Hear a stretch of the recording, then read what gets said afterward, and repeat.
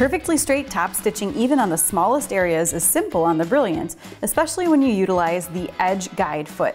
This foot has several different markings that you can use to position the fold of your fabric so that you get a nice perfect top stitch any distance that you want from the edge of your seam. So I'm going to attach the foot and then to stitch on even the smallest areas, you can remove the accessory compartment to expose the free arm, and then you can slide a piece of fabric right onto that free arm and top stitch. So I'm going to pick a line to align the edge of my fabric, lower the foot, and now we'll stitch around the circle.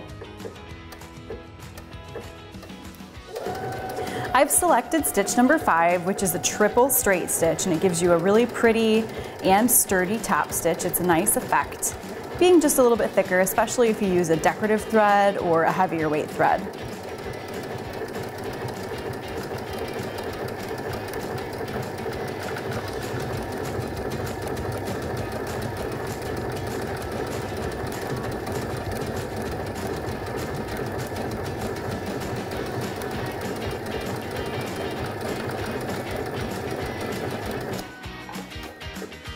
And there we go.